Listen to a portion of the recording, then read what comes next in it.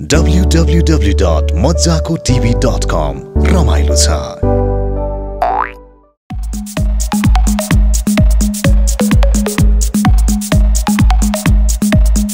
आगो रिलिज भयो। त्यसपछि सुशील छेत्री भन्ने चाहिँ एउटा भयो। आगो जसरी फैलिनु भयो फिल्म क्षेत्रमा होइन? हजुर हजुर। अनि म यो विभिन्न कलाकारको क्यारिकेचर पनि गर्थेँ। रातो रगतले कोरेर आई लभ यु लेख्नेदेखि लिएर मैले अनाथ बालबालिकालाई मैले आफूले पालेर होइन उनीहरूलाई हुर्काएर पढाएर लेखाएको छ। पप्पी दोन अङ्कल पप्पी दोन अङ्कल भनेर चिन्ने यो यो गानाले गर्दाखेरि। मैले सुनेअनुसार चाहिँ तपाईँ फिल्म सेटमा चाहिँ हिरोइनहरूसँग एकदमै लजाउनु हुन्थ्यो अरे। यो कुरा साँचो हो?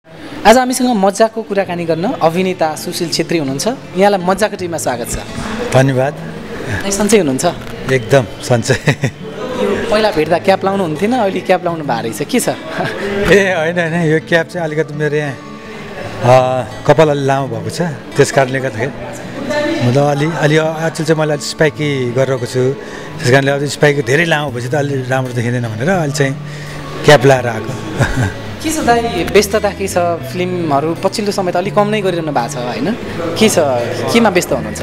अहिले म एउटा नारायणघाटमा हाम्रो ऋषि न्युपानेजीको डाइरेक्सनमा एउटा धनवान भन्ने चलचित्र गरेर भर्खर आएको।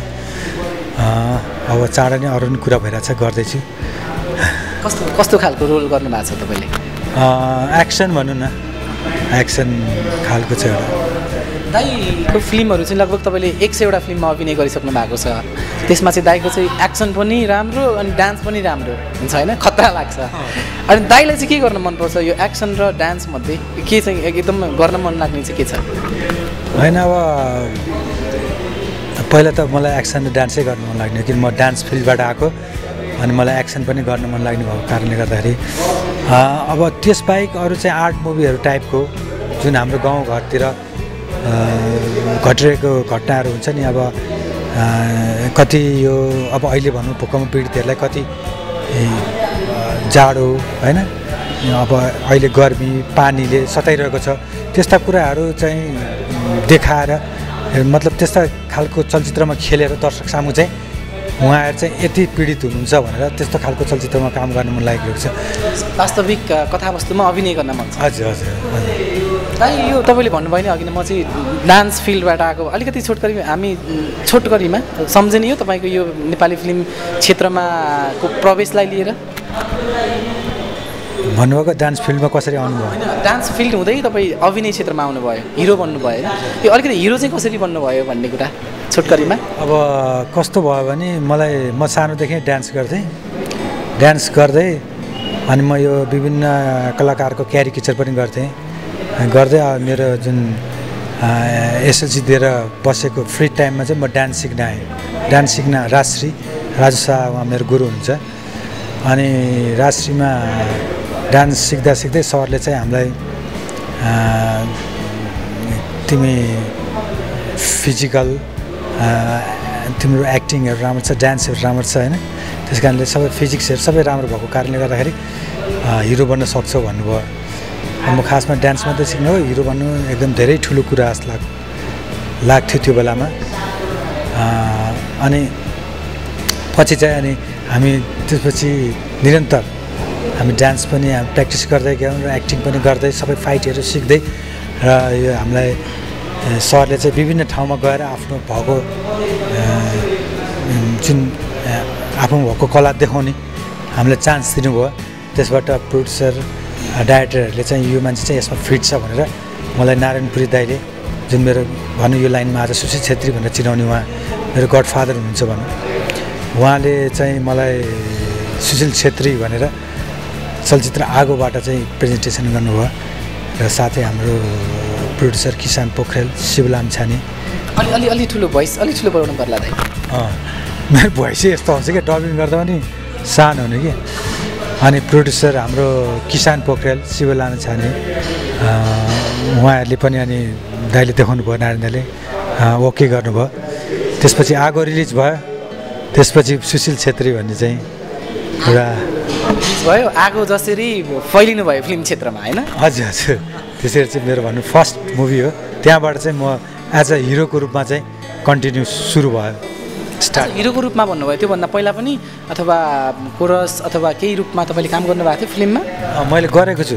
त्यही त सरले हामीलाई भन्नुहुन्थ्यो किनभने यो जस्तै नारायण त्यसरी हामी रगतको चलचित्र रगतकोमा जाँदाखेरि ए, नारायणपुर दाईको आँखामा परेँ मैले। हाम्रो क्लासमा नै आइरहनुहुन्थ्यो दाई।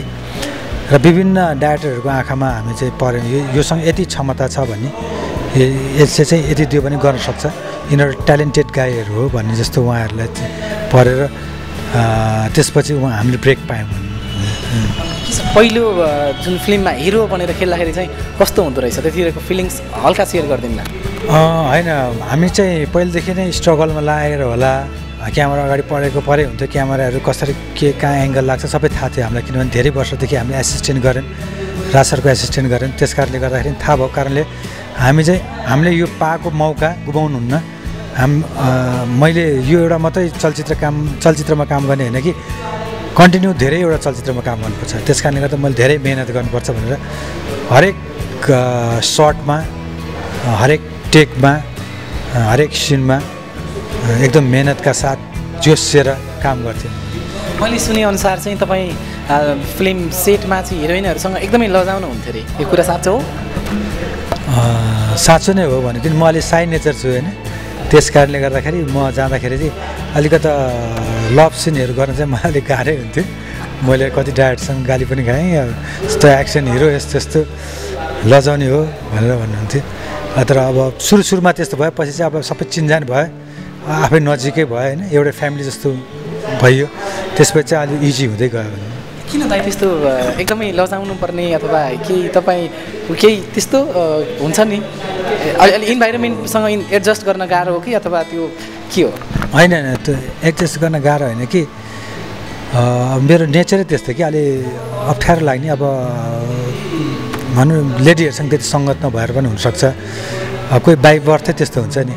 अलिकति अप्ठ्यारो लाग्ने त्यो त्यो कारणले गर्दा होला। अरू त केही होइन। अरू त म फेरि त्यो ऊ बाहेक त म क्यामेरा अगाडि उभिने बित्तिकै सबले अब भनौँ न अब त्यो आगोको सुटिङ हुँदा हुँदै बाटोमै सबै फ्यानहरू हुन्थ्यो होइन मेरो त्यो एक्सन सिनहरू देखेर। अब त्यो आफ्नो एउटा हेबिट हुन्छ तपाईँले फ्यानको कुरा निकालिहाल्नु भयो। यत्रो फिल्ममा अभिनय गर्नु भएको छ होइन?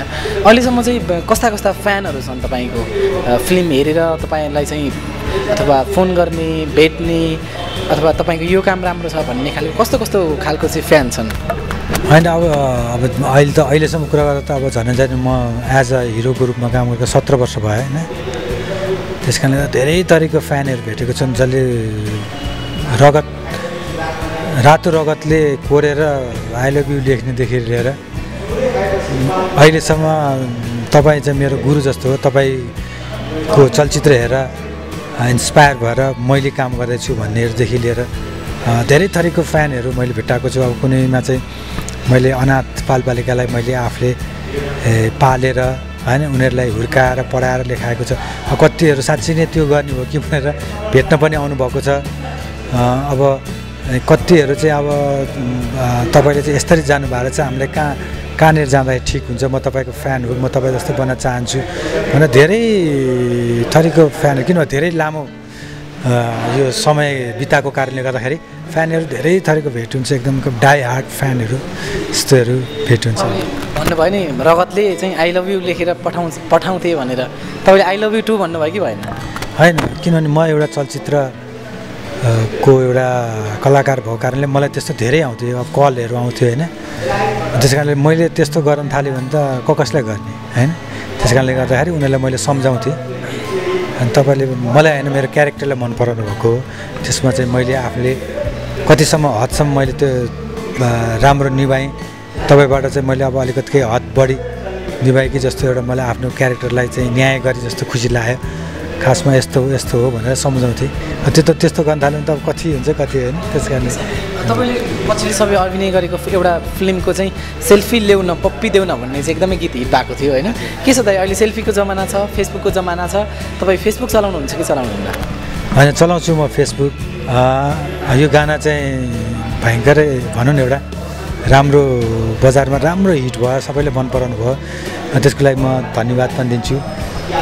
धेरै मात्रामा बच्चाहरूलाई मन पराएको देखेँ। मैले कुनै रेस्टुरेन्टमा त बच्चाहरूले ठुलोहरूले चाहिँ सुशील छेत्री भनेर चाहिँ बच्चाहरूले चाहिँ पप्पी दोन अङ्कल पप्पी दोन अङ्कल भनेर चिन्ने यो यो गानाले गर्दाखेरि जस सबैले मन पराइदिनु भयो।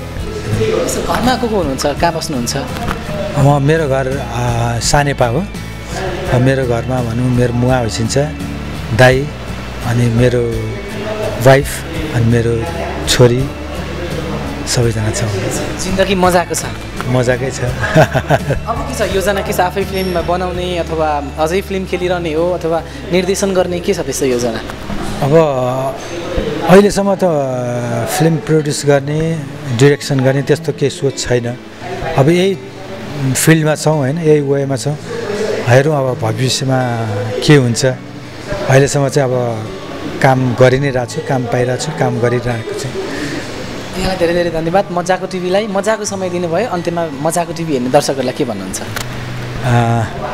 भाइले पनि मलाई समय दिएर होइन मेरो आफ्नो मनको कुराहरू दर्शक सामु ल्याउने एउटा मौका दिनुभयो। त्यसको लागि धन्यवाद।